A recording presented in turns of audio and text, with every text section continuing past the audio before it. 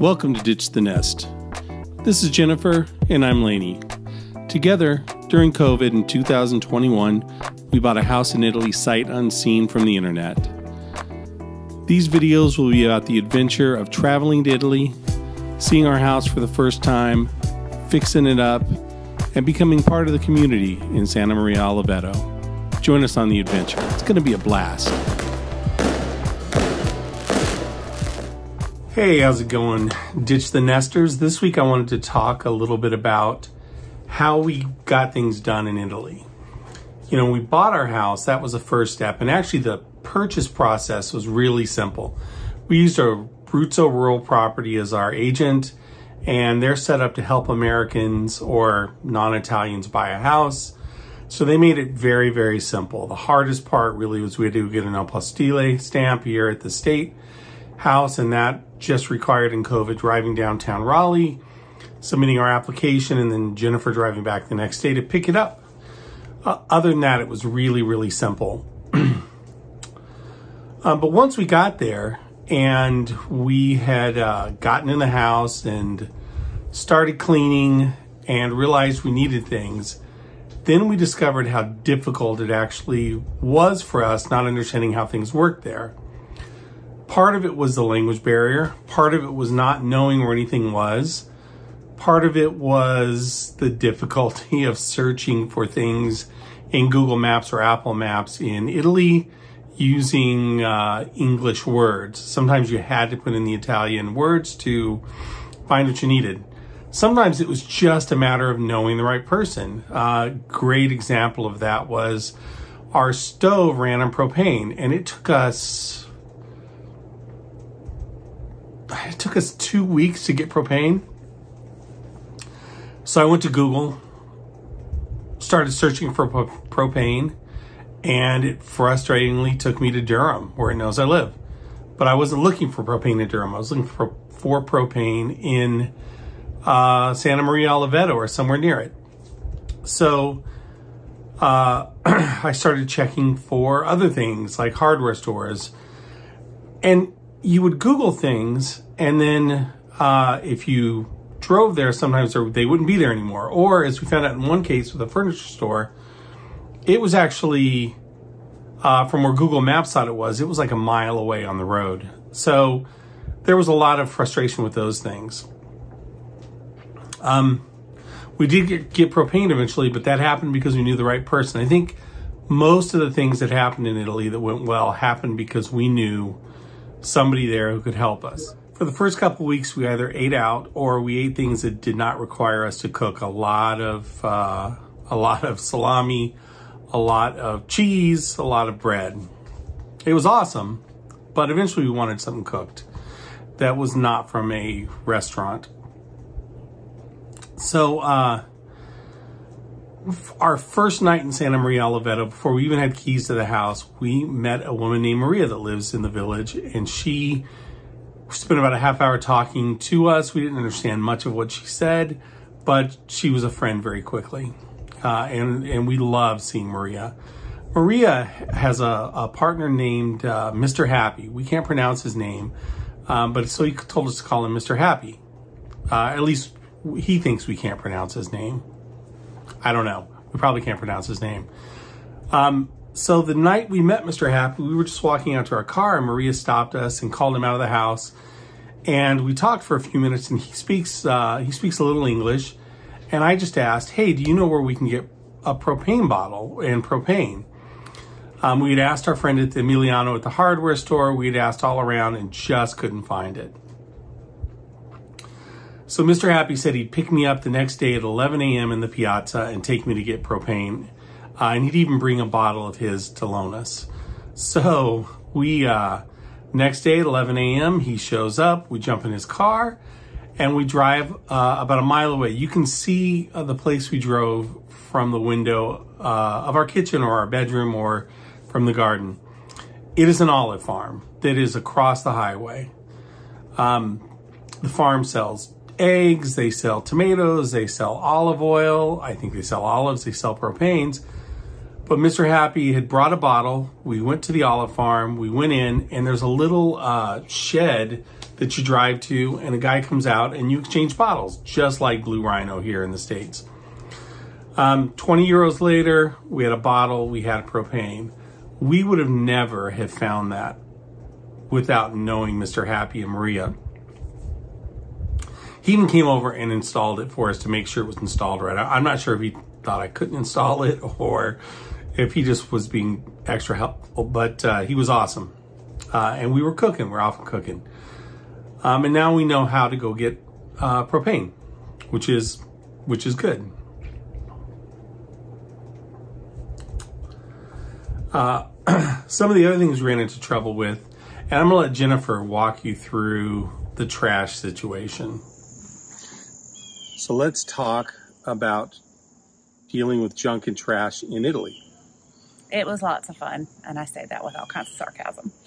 Um, I think the thing that was really struck me, and I don't know about you, but I think it was the um, the amount of stuff that was left behind that was not actual furnishings. And in Italy, they do talk about like the cabinetry and the parts of the kitchen because they're all designed to be moved around as being furnishings. So when we got a furnished house, we thought we were getting something really cool, but yet we also got, you know, mattresses from the last millennium, a lot of really disgusting um, bedding and blankets and full drawers everywhere, shoes. Yuck. And, and uh, normally, like right here, here in this, at least in North Carolina, I could rent a bag. I could get a Bagster for two hundred dollars, have it hauled away. Right, you, that there's no college hunks hauling yeah. junk in Italy. We did have Rosario, who was able to find a man with a van that would right. come and he took most of like the dozen chairs and like six mattresses that we had. And but there was a lot of other things like the 47 and that's a slight exaggeration plastic bottles yeah. um, crates bags wrappings shredded uh, the clothes. That was fun. The mm-hmm. fabric stuff. Uh, i say fun with sarcasm. Um, but there was a donation box we could put that into right in the village. And one thing we didn't know that we learned towards the end is that one day a month, like the last Thursday, I think it's a Thursday, yes. Our particular commune comes, you can just put junk out and they'll come get it. Now, we didn't know that. The ironic part is it's like right next to where we park, uh, back near the gate. Yeah. And we looked up what the sign said, but it did, it, it, it said no, no dumping. junk. but it's this big area. So on Thursday, I think the last Thursday we were there, we saw TVs and a couch and a couple of things there that yeah. had we known, we could have taken care of. But we only spent 50 euros to get it taken care of, except our place. So even after we got the house emptied out of furniture and really furniture, all the mattresses, there were eight mattresses. There I think there's six. Two downstairs, two upstairs in the one bedroom. Well, four. Six, five or six. Yeah. I don't know. There were a lot. Um, and dozen chairs. Dozen. There were there were dining chairs everywhere. Every everywhere. room had several to sit in. Like and lots of animals had made their themselves yeah. comfortable upon them and, and the years since they have been lived in. Yeah. Another thing that is worth noting is uh, is where we are is a really awesome place. They have this wonderful recycling center that does a really a lot of good work, but and every day of the week something different gets picked up and organics get picked up three times a week. And we were concerned that our trash wouldn't be collected on a daily basis because we didn't have the, the little plastic bins that everybody had. Um, not everybody had them though. Mm-hmm. We figured that out pretty fast. Um, so we got uh, went down to uh, the place where Rosario told us to go, our Airbnb City Hall, basically. Well, no, he first sent us to that other place with the lady Oh. Uh, which is where you can yes. go to get the bins. But she was, well, where's the receipt that you paid your taxes, which they call TARI? And we were like, oh, well, we got our tax code. And we, you know, she's like, oh, no, no, no, you pay you TARI, you come back, we get you your bins, and, and you got to go here. And so that was the city hall place. Right. But then they decided, they determined that we did not have a residential permit and they were telling us um, that our visitor visa was not good enough for this. So, so we can't pay the taxes for the because it's a public service, even though we're getting water from the city through the same office and electricity. Electric well, electricity comes from a private city. company. I know, but still, it's a utility. Yeah. So yeah, they wouldn't give it to us. They wouldn't give it to us without a residence permit. We can't get a residence permit unless we spend takes more than three months usually.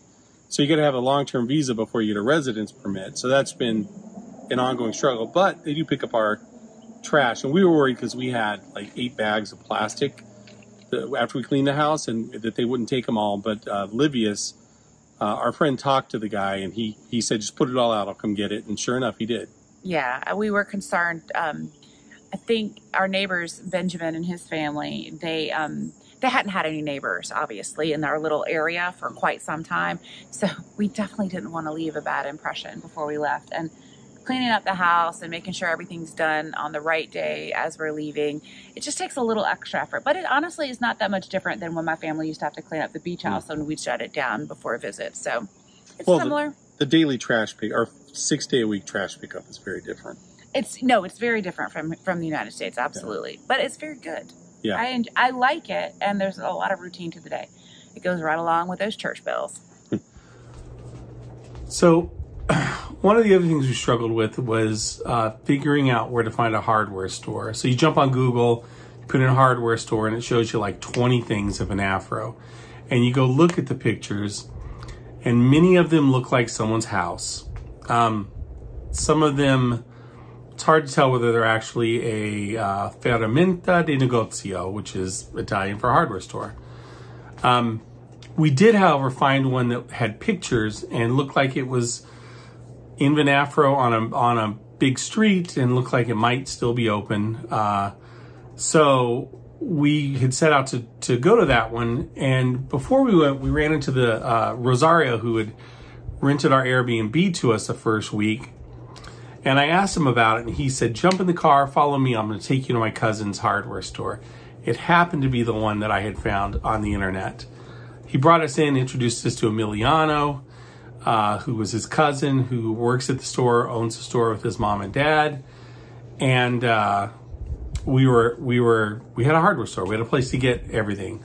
The thing about Emiliano's hardware store is there is kind of one or two of everything. If you want a drill, there's one drill. If you want a hammer, there's two hammers. If you want paint, there's a couple paints. Um, so you, you live with that. It's not Home Depot where there's a lot of choices, but Emiliano is there to help and he will always go out of his way. And he'll buy you a coffee most of the time when you come in and hang out with you. Um, Emiliano's amazing. Uh, he will also show you how to use the things if you need help. Um, he, he goes out of his way to, to help you. But and because we know Rosario, we get a we get a discount when we go there, which is also pretty cool. Um, not to pay full price for things. I or or I think we're not paying full price. I actually have no idea whether we're paying full price. Uh, Emiliano says this is the price, and then this is how much you pay, and I pay him. Um, the funny story about where our breaker box is in the house. Yeah. So we got into the house, we had the key. Our, the people who become our contractors, Livius and Adrian were there, and this very old gentleman who lives uh, sort of two doors down, but really they're right there together, um, was there. We turned on the water, and water came from most spigots yeah, immediately. Not everything. Is, which, well, eventually, it's kind of like uh, under the Tuscan sun, so that was Csak mert idegesen kavarog a gyomrom, és hirtelen zokogni szeretnék, még nem biztos, hogy hibáztam. Mindenki tudhatja, hogy a régi házak furán viselkednek. Különösen a 300 évesek. so that was good. But we couldn't figure out where to turn on the electricity. And come to find out, our very old neighbor, who it would be like, you know, older than my mom, so He's probably 80. Yeah, get pushing 80. Um, he comes in and he's and, he, and he, he's also this is after he's volunteered to like sweep out our doorstep. Remember yeah, that? Yeah. So sweet. Um, but he comes in and, and he turns immediately left and there's this really yucky picture on the wall and he lifts it up and there's this niche behind it and that's where the electricity box. He's like, you know, and I don't can't remember what he said, but anyways, it was funny. And then the lights. alive! It's alive! It's alive! And it, uh, it was it was it was kind of hilarious. Yeah, that was after we had spent what 45 minutes with Livius and Adrian trying to find it. I think you were spending 45 minutes. Yeah. I was probably sweeping something. Yeah. Last thing I think would be what I would ask for if I was to buy a house in Italy again. So if we had to do this process over, I think that in communication with the realtor, I would ask that everything that's not furnishings is removed from the house and that the house is what we in America, well, in, in the South anyways, refer to as being broom clean, which means that your cobwebs are swept and that the big stuff is out of there, even if, you know, it hasn't been lived in for a bit. Doesn't have to be like sterilized, but just broom clean. Right. Um, and then of course specify exactly the things we wish to remain. I think I would pay more for a situation to have that done before we arrive, especially in a place where we don't speak the language. Yeah, but we'll do an episode on how we bought the house and the things to look for in buying a house uh, separately. Sorry, there are mosquitoes attacking me Well, right now. then let's go. Let's Yeah. Anyway, Ooh, so they are attacking you. yeah, I'm getting. Hit the like and subscribe and do all that fun stuff. And we'll see you again next week.